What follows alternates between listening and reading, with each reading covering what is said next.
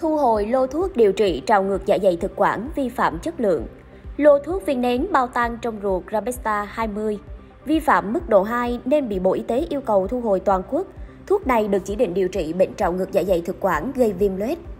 Phó Cục trưởng Cục Quản lý Dược Bộ Y tế Tạ Mạnh Hùng vừa ký công văn thông báo thu hồi trên toàn quốc với lô thuốc viên nén bao tan trong ruột Rabesta 20 do vi phạm mức độ 2 Thuốc này được chỉ định sử dụng cho người lớn để trị bệnh trào ngược dạ dày thực quản gây viêm loét.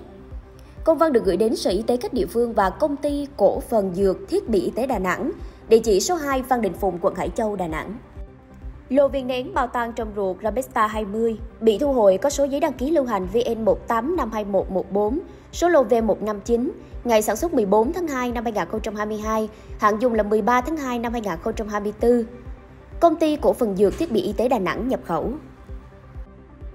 Lý do thu hồi được Bộ Y tế nêu là mẫu thuốc không đạt tiêu chuẩn chất lượng về chỉ tiêu độ hòa tan trung bình dưới 50% so với tiêu chuẩn chất lượng và như vậy lô thuốc trên được xác định là vi phạm mức độ 2. Cục Quản lý Dược yêu cầu Công ty Cổ phần Dược Thiết bị Y tế Đà Nẵng phối hợp với nhà phân phối thuốc phải gửi thông báo thu hồi tới các cơ sở bán buôn bán lẻ, sử dụng và tiến hành thu hồi toàn bộ lô thuốc không đạt tiêu chuẩn chất lượng.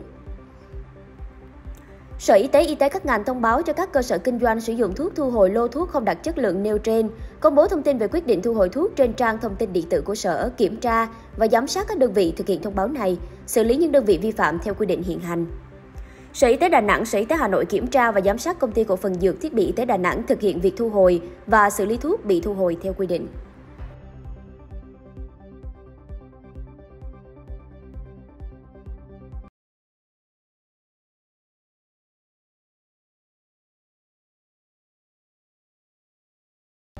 Hãy đăng ký kênh Alo Bác sĩ Video để nhận thêm nhiều thông tin mới nhất về y tế, sức khỏe.